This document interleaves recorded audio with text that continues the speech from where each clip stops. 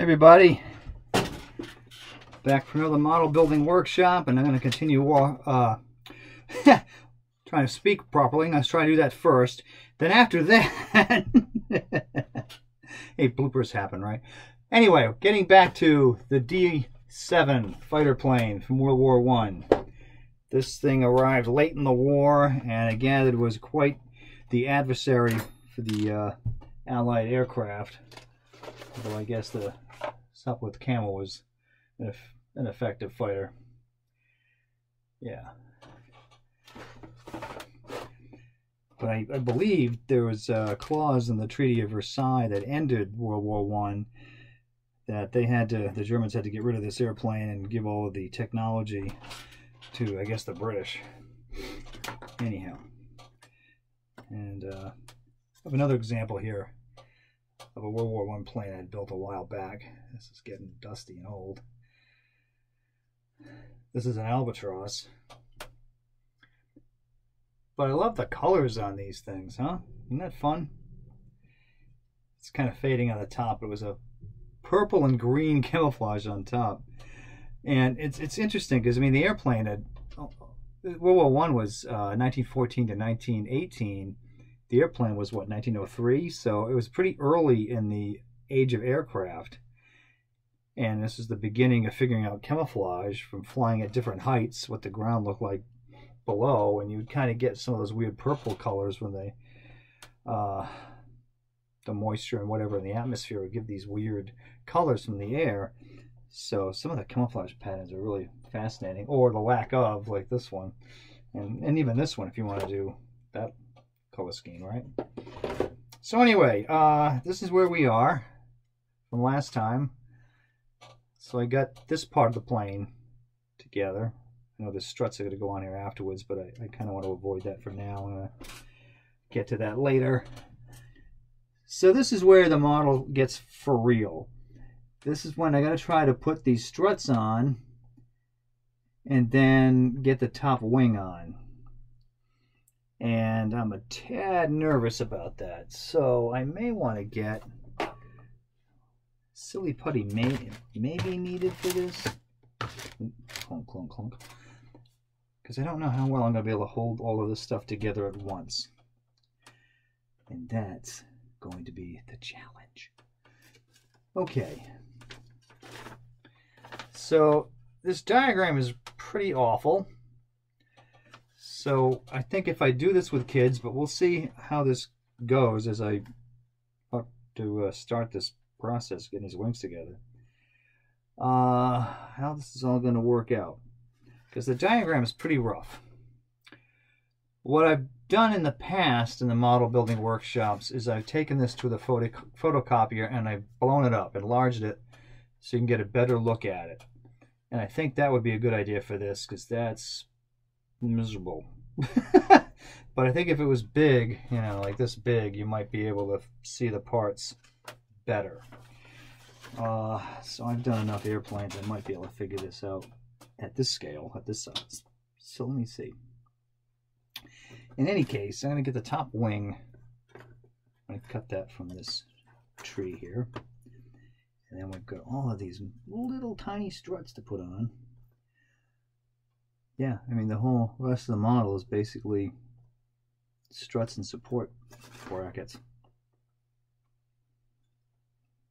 Okay.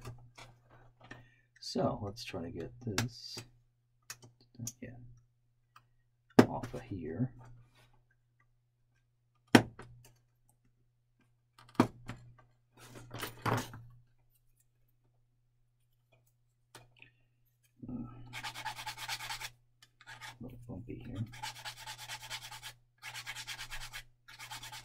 This I want to clean it well now because once this is on the plane it's going to be so fragile it's going to be hard to do any other work with it.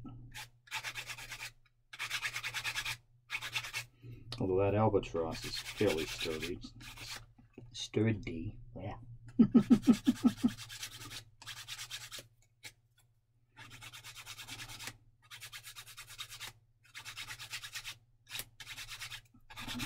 filing here.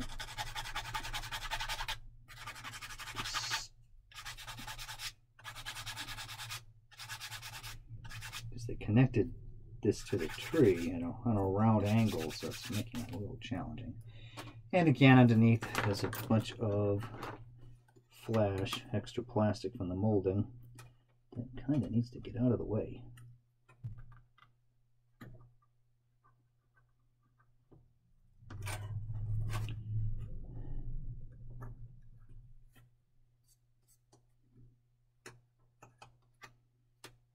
Okay, not too bad. All right. So that's going to somehow sit above here. With all of these brackets and struts. Ah, there's 14, 14 and 15. 18 and 19. Who's 18 and 19 supposed to go? Hmm. All right, 16 and 17, 18 and 19. They all go up front. Wow, there's a lot of struts here. Let's see if I can start with 16 and 17 because they go on by the engine. That's on this tree, right? Yeah, it is. Are we ready? Woo-wee! Let's see how this goes. Right, 17 is on this side, so I'll try.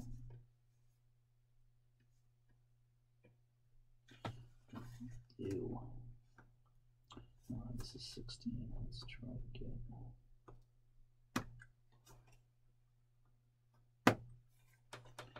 All right, that one is 16. I think that's going to go over there. 17 is going to go over here. Let's turn this around.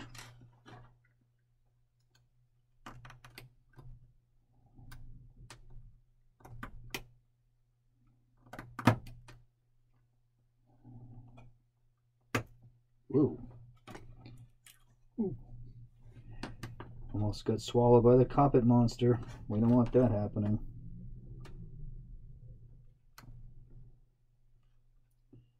Alright, this is 17. So, do, do, do, do. which direction does the. Looks like it goes like this.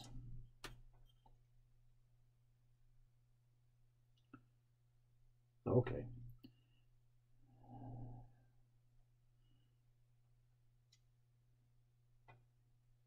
there's a pin there and a pin here. And there's another. Okay. Kind of get the idea.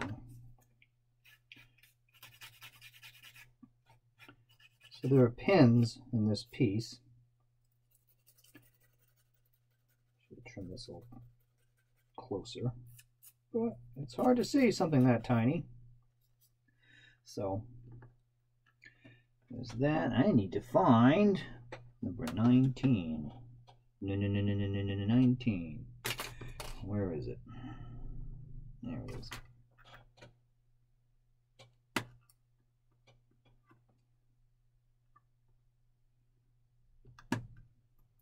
Today I got a different hat on for another airplane. This is for Witchcraft.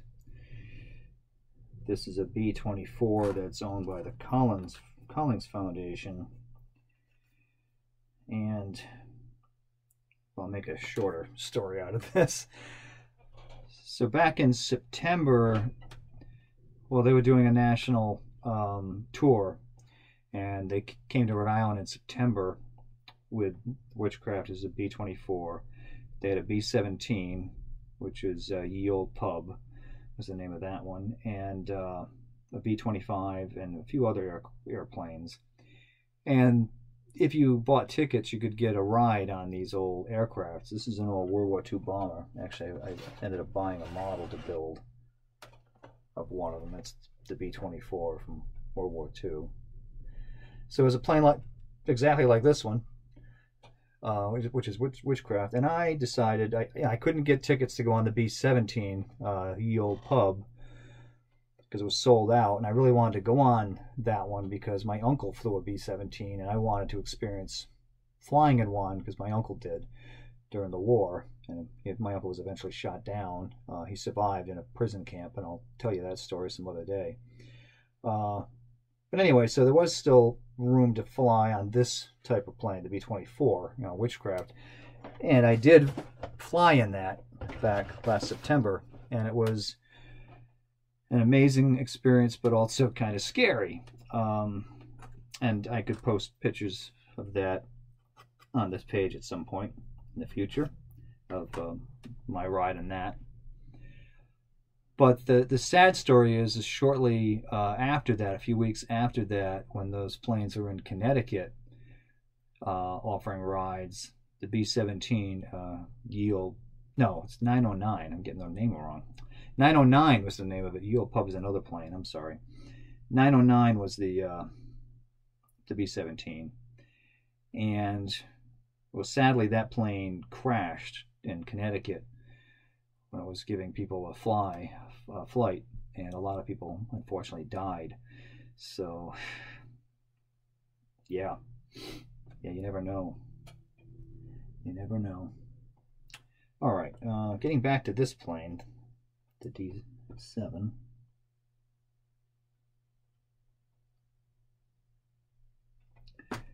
All right, let me see if I can get. I want this to stick, but not. Oh gosh. okay. There's a nice notch underneath uh, the pin over here on this part, so it looks like a good spot to lock this particular piece in. So there's a pin that goes down in the bottom hole here. Oh yeah. That somehow goes there. Alright, so this must come out a bit. Oh, I have no idea what kind of angle that's supposed to go on. I'm assuming it's going to go out that far. I have no idea.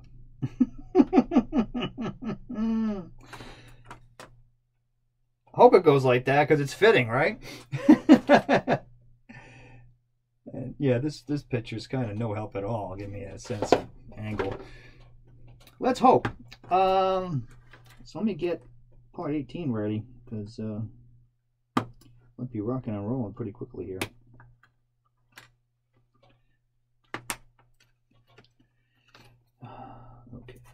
Flatten that up a little bit. Flatten that out a tad. Okay. Here's to hoping, right? Yeah, a little bit of flash on that, which hopefully I better take care of because that might get in the way of that sitting up in the wing afterwards. Okay, let's get this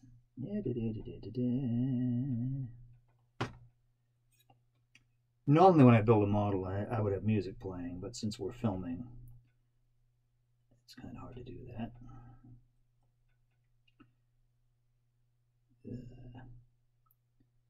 I didn't cut this out very well. Looks like I cut part of the piece off. Yeah, that could have been done a lot better. Looks like I cut the pin, left it on the tree. Oops. Accidents will happen. uh.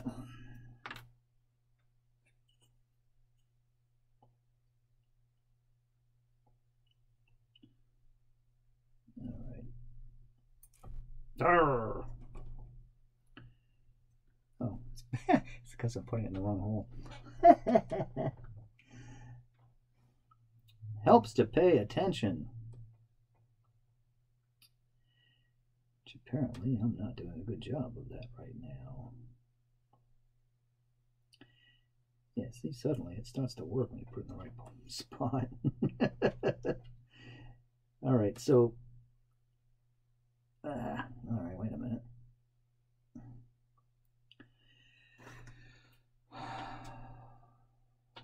Looks like it's a little bit off. because my lack of a pin here. I think it's supposed to be a little higher. Oh, good grief.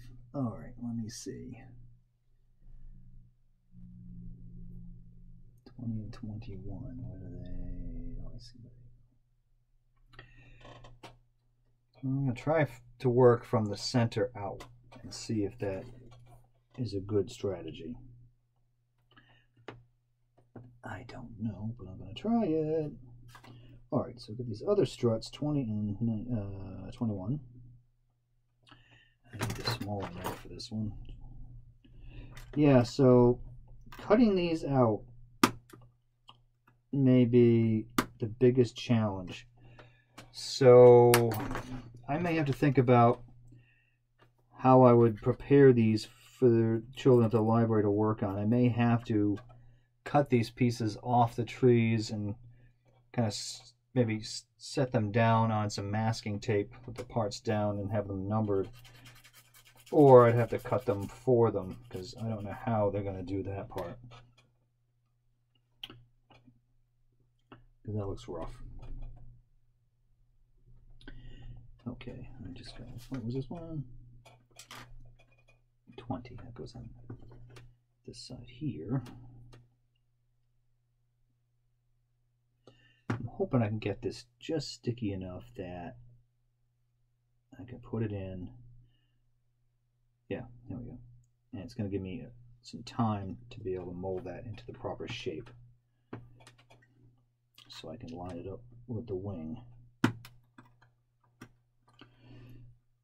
So, so far this is cooperating with me, but the big moment hasn't arrived yet, and there's a lot of time for this to,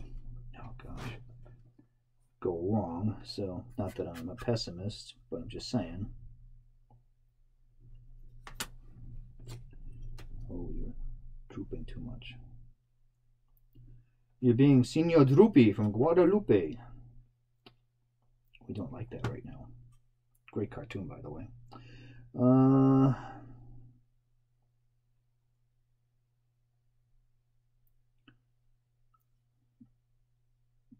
okay. So, yeesh. Those aren't the greatest spots to try to work with.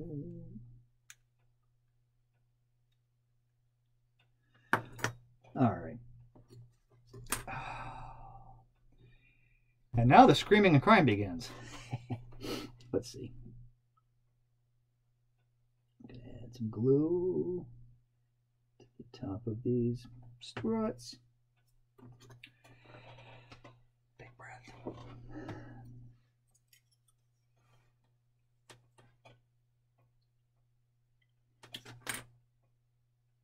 Because anything can happen now.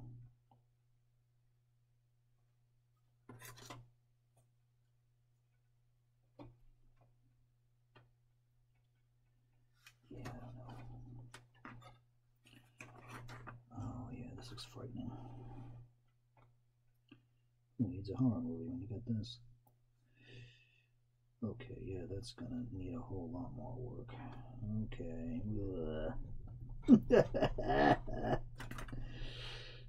yeah. I don't like this. I don't like this.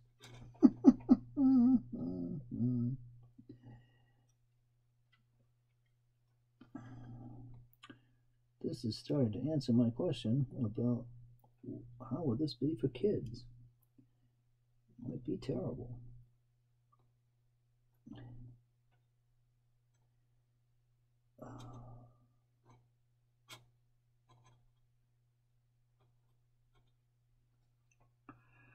Yeah, this is not great.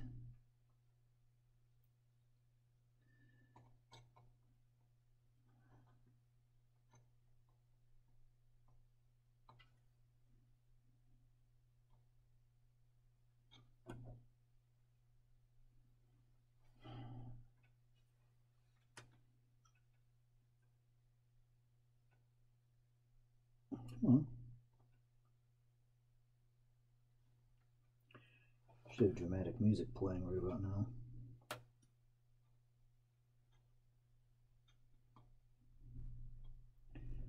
Okay, so they're in, but the angle of this plane is all off.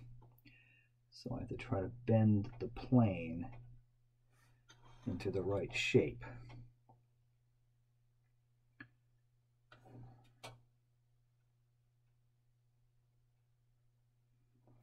This is where I was thinking. Ugh. Okay, maybe. That looks awfully far back. I don't know how far back the top wing is supposed to go from the front wing. Well, looks like that on this one. Looks like the front wing is way out. So this. Do I have any other picture one to look at? Yeah, the front wing is kind of forward of the of the uh, bottom wing. The front wing, top wing, bottom wing, front back. okay. So, so there would be a pretty clear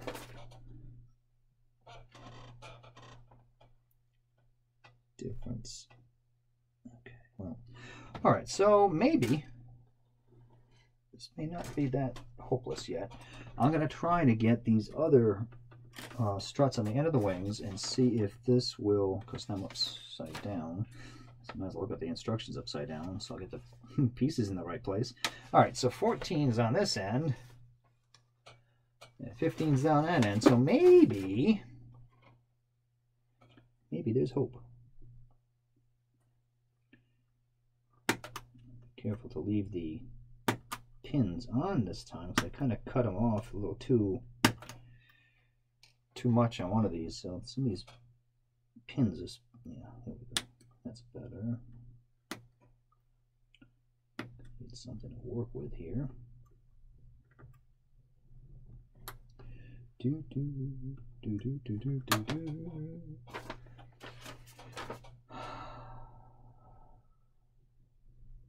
Does it go? Okay, wait a minute. Looks like that. I hope. I hope I'm not a dope.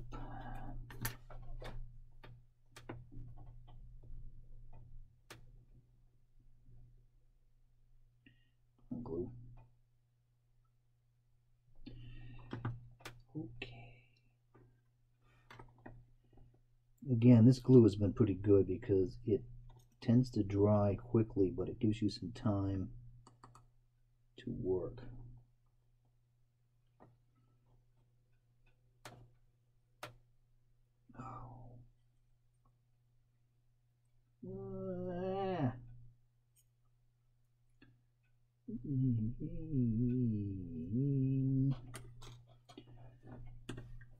Try not to scream.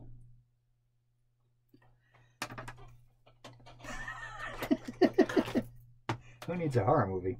All right, let me try my fingers. Ugh.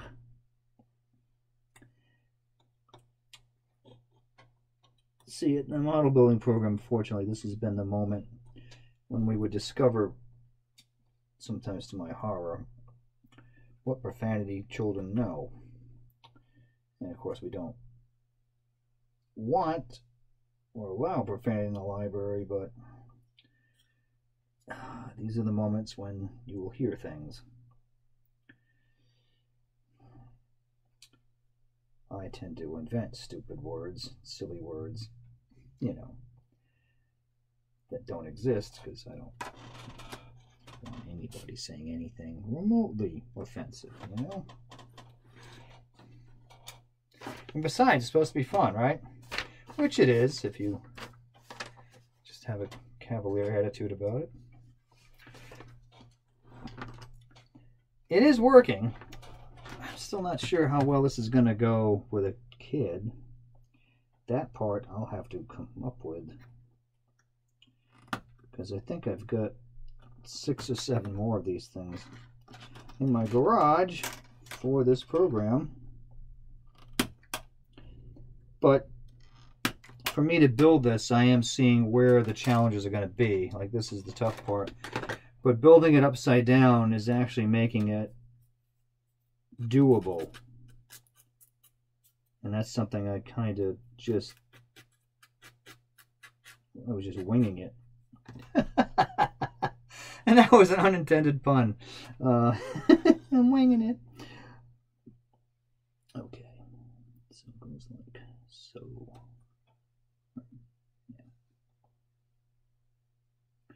And winging it. Right, I'll stop with the silly puns. You know who like puns? Rapunzel. She told him over and over again, though. Thus, Rapunzel. Okay. I can hear you groaning from here for that joke. I don't blame you. That was a real groaner, that joke.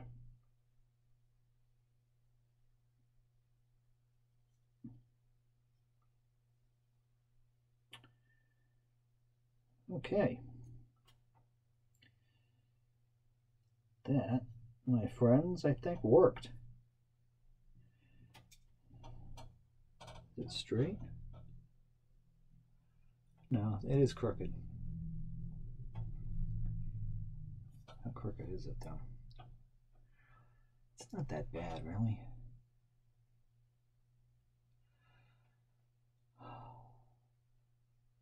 Kind of like it white. I might just keep this nice and simple, all white. It's hard enough I really line the top and bottom up properly, but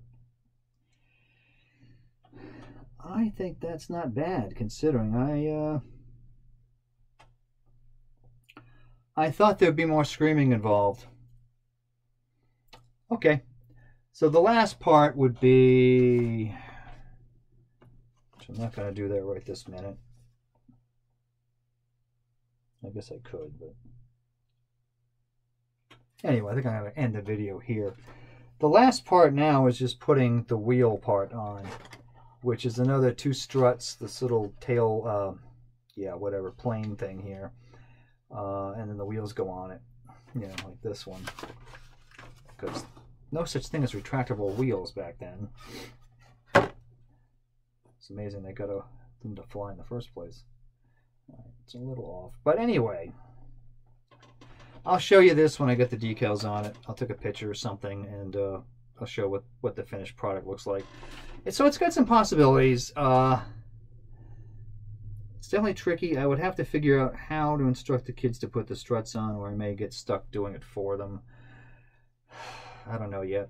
Like I said, I've got a bunch of these that were kind of unloaded on me from a store that wanted to help out the program. I couldn't really say no, and they are nice, but uh, things to think about. Okay, well, hope you've enjoyed today's episode. Um, looking like something. Okay, bye now.